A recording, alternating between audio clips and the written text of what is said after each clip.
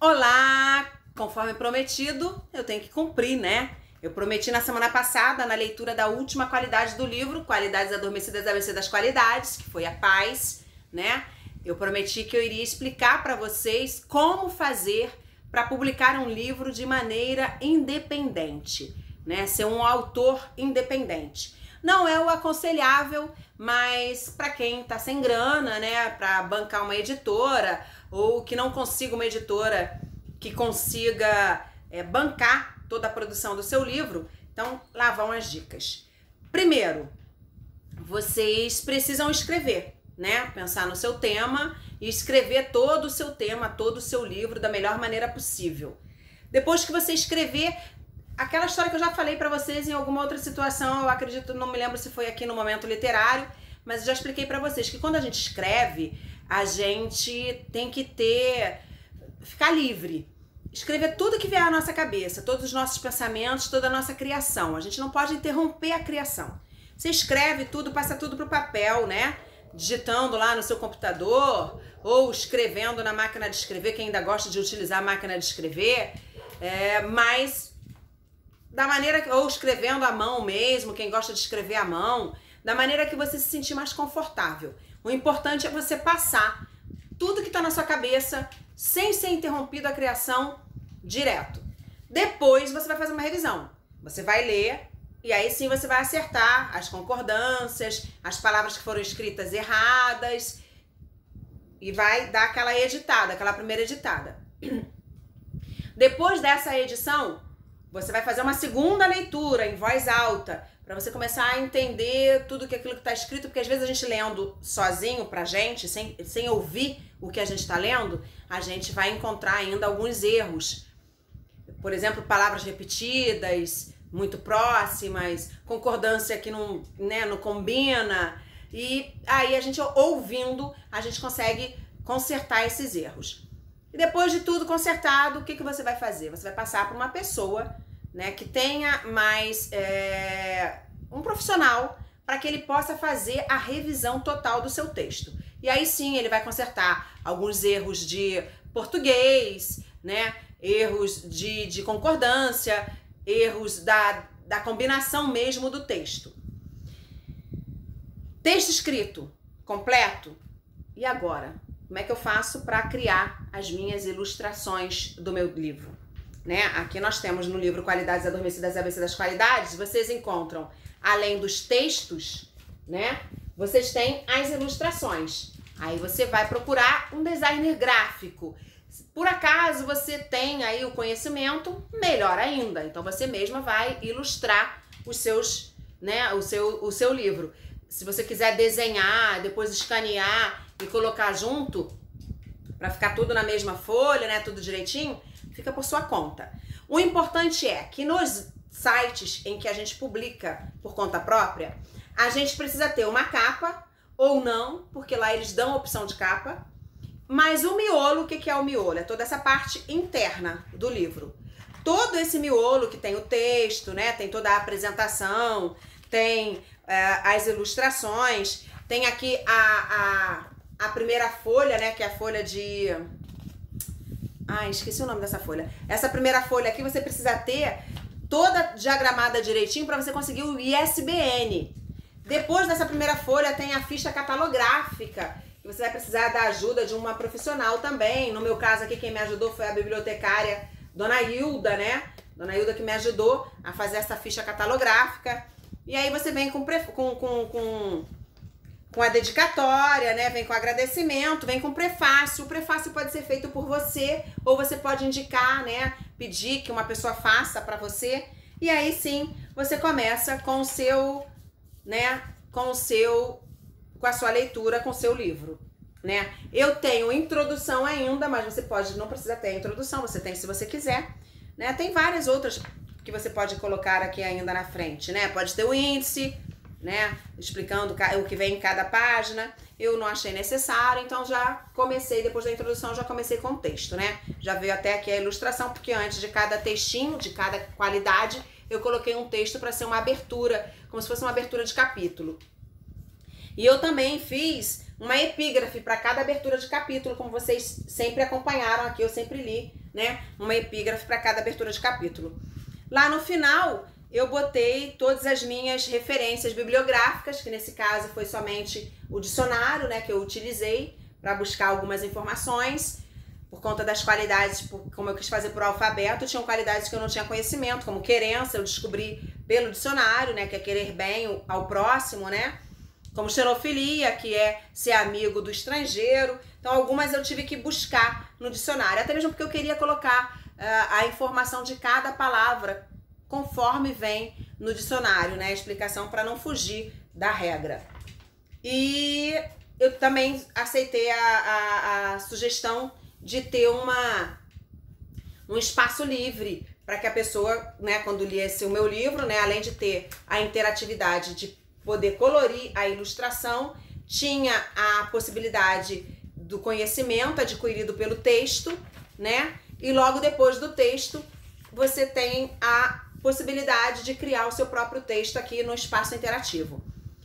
Então, tendo todo esse livro, todo esse material do miolo, você vai transformar isso tudo em PDF. E aí você vai lá no site do AGBook ou do Clube dos Livros, Clube, Clube, Clube dos Livros ou Clube dos Leitores, eu não me lembro direito, mas eu, eu, o que eu fiz foi pelo AGBook, então eu posso falar muito bem dele.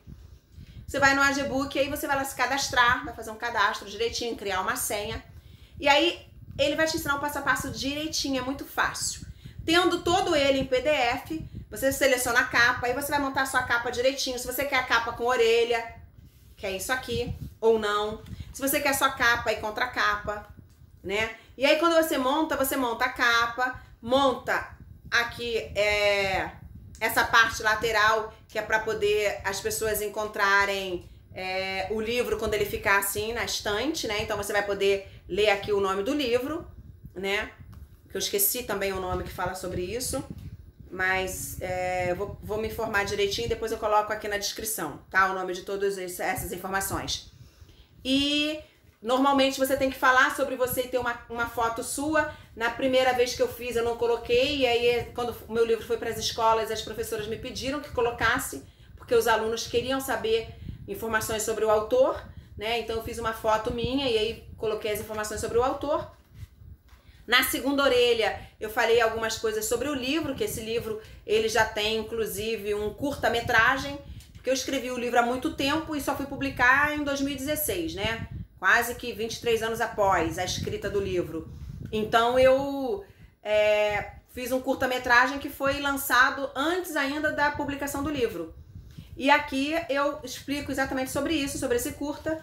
E aqui no final, né, na, na contracapa, informações tipo uma sinopse do livro para que quando a pessoa veja a capa, ela já venha na sinopse e tenha toda a informação do livro, que eu vou dar uma lida aqui para vocês, só para vocês entenderem mais ou menos, tá? Deixa eu pegar meu óculos.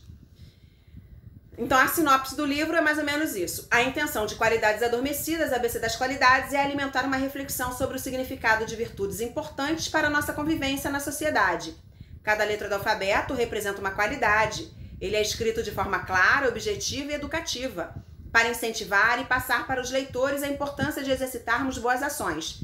São 86 páginas com texto e espaço livre para interatividade com o tema estimulando a criatividade, seja escrevendo, desenhando, fotografando, roteirizando, etc., as quais possibilitam a finalização de uma obra do leitor. E ainda 23 ilustrações do designer gráfico de Álvaro Vital para colorir. Para sermos justos, precisamos ausentar o ego, Andréa Moraes. Curta e faça seu comentário sobre o livro na página. E aí eu deixo aqui a página do livro, né, que é lá no Facebook, Qualidades Adormecidas. E ISBN, quem não sabe, é isso aqui, tá? ISBN é esse esse código de barras, porque aqui nesse código, bar, código de barras você consegue uh, fazer a sua. É como se fosse o CPF do seu livro, né? Ele não vai precisar de outro, porque ele já tem o, o, o CPF dele, é o código de barra, o ISBN, é a inscrição dele. Aqui na, na contracapa, na, na outra orelha, a orelha de contracapa, Qualidades Adormecidas foi o livro que deu base ao meu primeiro curta ABC das Qualidades, finalista do quinto curta UERJ, que selecionou vídeos com o tema O que transforma o mundo. As diversas maneiras inspiradoras de transformar o mundo num lugar melhor e fazer a diferença, seja para uma pessoa ou para um milhão. E eu botei mais uma epígrafe do livro: A virtuosidade é a realização do espírito. Andréa Moraes. E na orelha da capa, eu coloquei, né, uma foto minha e fiz uma mini biografia. Escrevi este livro em 1995, mas publiquei somente 23 anos após. Ele fala da importância dos valores que aprendemos na infância e desenvolvemos no caminho da vida para uma boa convivência social, além de propagar valores, incentivando a leitura e estimulando a criatividade, com a ajuda das ilustrações e da interatividade, proporciona a construção de uma obra exclusiva, de autoria do leitor. E mais uma epígrafe minha: pratique o bem, exercite a bondade e transforme-se em uma pessoa melhor, mais firme. Andréa Moraes. Então eu coloquei epígrafe minha tanto na orelha de capa, quanto na orelha de anticapa, quanto na própria contracapa, né? Então, eu acho que espero que eu tenha esclarecido para vocês todas as possibilidades de você publicar um livro de maneira independente. Qualquer dúvida é só você mandar enviar, né, alguma a sua dúvida para o meu Instagram, que está aparecendo aqui embaixo, ou se você preferir, você pode deixar aqui nos comentários que eu vou dar a respondida para você. Ok? A gente se vê até novembro agora que nós vamos fazer mais uma opção de momento literário com leituras de poesia, poema, deixar aqui mais tranquilo. E se você é autor de alguma poesia ou algum poema e queira enviar para que eu possa declamar aqui no momento literário todos os sábados, estão abertas as portas para você. É só você enviar tanto no meu direct, no direct pelo Instagram, quanto nos comentários aqui embaixo você deixar aí os seus contatos para que eu possa é, a gente possa manter esse contato e quem sabe eu declamar aqui a sua poesia ou o seu poema, ok? Então a gente vai ficando por aqui. Espero você na terça-feira com alguma dica de receita ou de brincadeira. Esse mês de outubro inteiro tá com dica de brincadeira. Em novembro a gente já começa a fazer receita e brincadeira quinzenal para a gente poder ocupar o nosso tempo aqui. Toda quinta, com bem assim, com um entrevistado falando de um tema diferente. Ok? Muito obrigada pela sua companhia. Lembre-se de se inscrever no canal, compartilhar e curtir com o maior número de pessoas possível, porque o compartilhamento de coisas boas é sempre útil para ajudar o próximo. Combinado? Beijo! Até terça ou quinta. No sábado, agora, só em novembro.